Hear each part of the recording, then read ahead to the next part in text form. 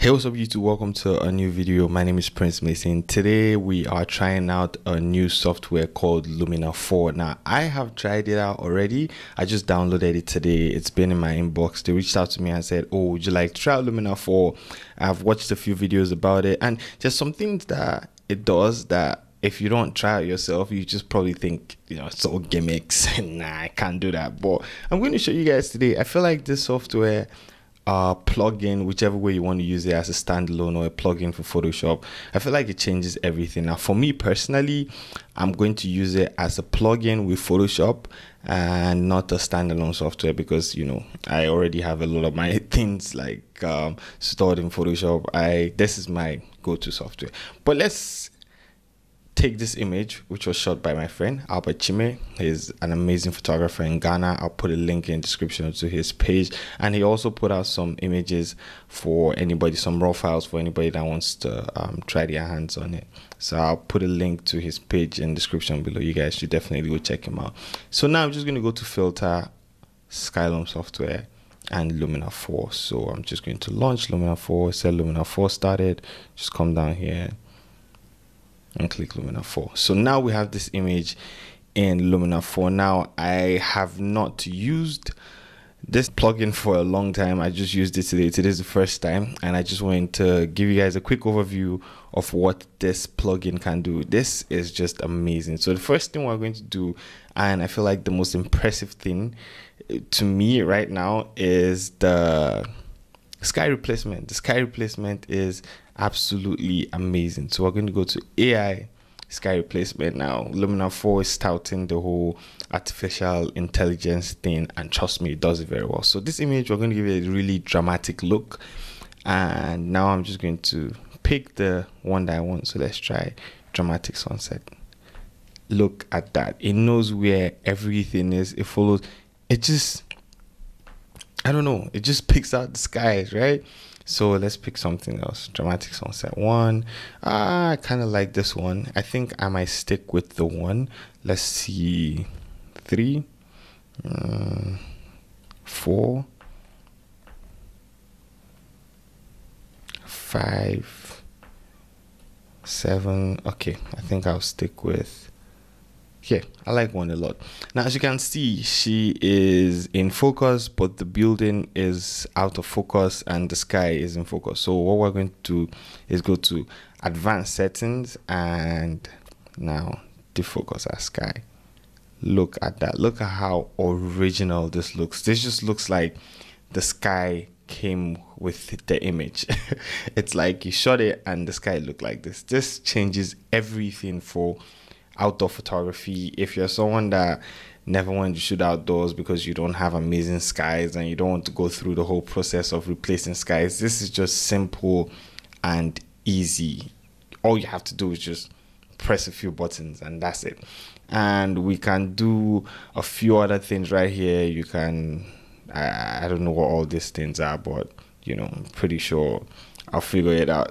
then you can relight the scene. Okay, yeah you know, to match the sky. Ooh, that's cool. That's really cool.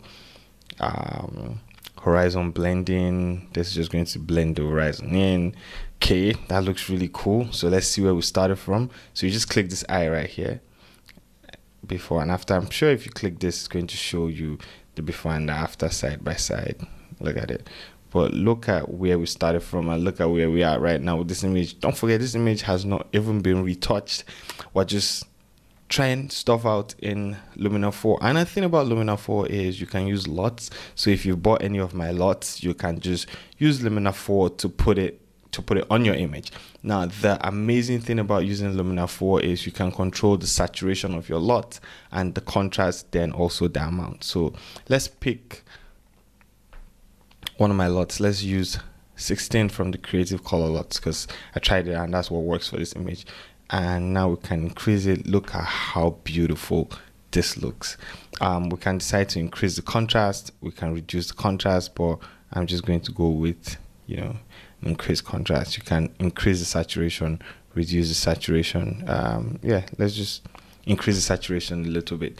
So we are going for a really dramatic image and let's see our before right now and look at that after. Look at where we are at right now. By the way, if you haven't checked out my digital store, definitely check it out. I have some amazing skin tone LUTs for dark skin, light skin tones. I also have some amazing LUTs for outdoor pictures, my creative color LUTs, and also my tropical color LUTs. Then I have my retouching essentials pack, which has 14 amazing actions that you can use to retouch your photos. So definitely check those out. So yeah, back to Luminar 4. This is just mind blowing. I, I really love this this plugin. So let's go to portraits. Let's see what we can do in portraits. So let's go to portrait enhancer and let's just add some light to her face, you know. That's a little bit too much, you know. Bring it down. I don't think there's any other thing I want to do here. I feel like what Luminar 4 will do for you is after retouching, you can just bring your image into Luminar 4 and add some finishing touches to it. Like I'm definitely going to be applying my LUTs in Luminar 4 now and not Photoshop. This is the first plugin for Photoshop that I know for a fact that I am going to be using. So let's go to Pro. I don't know what is here, but it has advanced contrast. So let's see mid-tone contrast. Is that doing anything? Yes, just adding some contrast to the mid-tones, highlight contrast, adding some contrast to the highlights highlight balance. Okay. Shadow contrast. I don't know. Just so many things here. You have photo filters. You have color enhancer.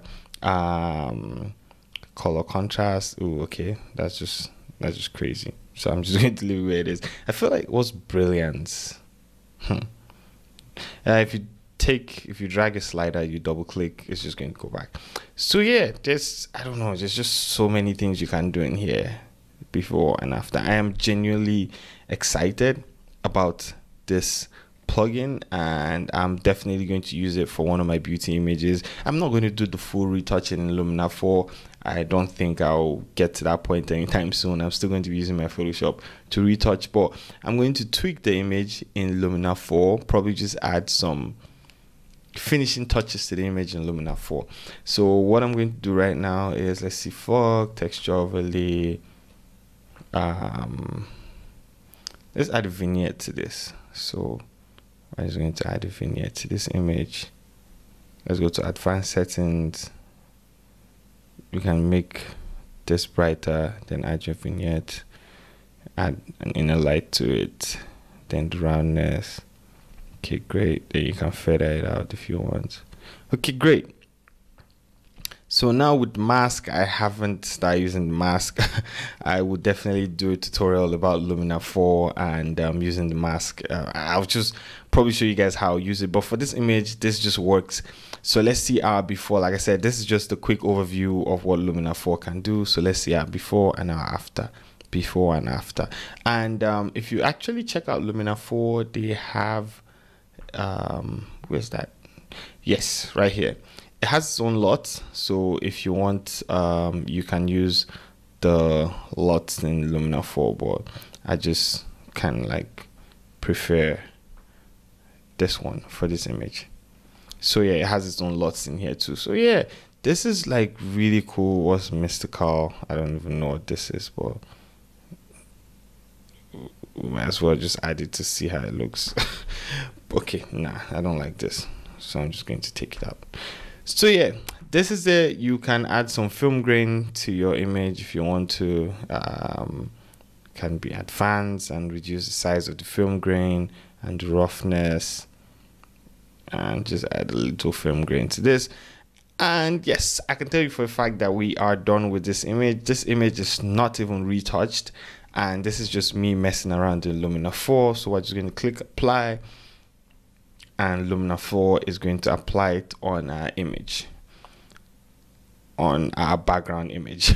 I did not duplicate that. If you're going to use Luminar 4 make sure you create a stamp visible layer so it does not just put it over your background image. So let's see our before and our after.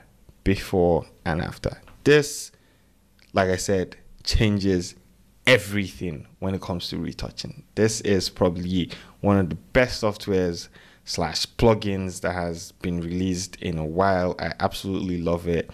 If you shoot outdoors a lot, I feel like you should definitely, definitely get the software. I'm going to put a link to the software in the description below. You guys can click that and just go download it for free. I think they have it up for free. I think can use it for free for a week or a couple days. I don't know, but just click the link in the description below. I'm excited about this.